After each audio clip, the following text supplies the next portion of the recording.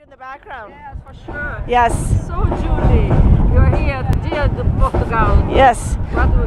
Well, first I want to say bon dia to everybody. It's a wonderful day. We have a beautiful and perfect day for a, a celebration of um, the Portuguese here in Canada on June 10th.